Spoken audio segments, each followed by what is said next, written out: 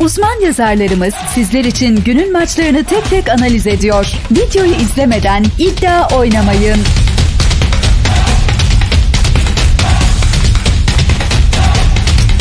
İtalya Serie A'da Napoli ile Inter karşı karşıya geliyor. 24 puanla 4. sırada yer alan Napoli son maçında Şampiyonlar Ligi'nde Real Madrid'e deplasmanda 4-2 kaybetmişti. Ligdeki son maçında ise Atalanta'yı 2-1 ile geçen Napoli lider Juventus'un 9 puan gerisinde bulunuyor, Inter ise 32 puanla ikinci sırada yer almakta. Hafta içi Benfica ile deplasmanda 3-3 berabere kalan Inter deplasmanda kazanıp tekrar liderlik koltuğuna yükselmek istiyor, keyifli bir karşılaşma olmasını bekliyorum bu stadda iki takımın. Oynadığı son karşılaşma 3-1 Napoli üstünlüğü ile sonuçlanmıştı yine gollü bir maç olur. 2, 501.58-22-45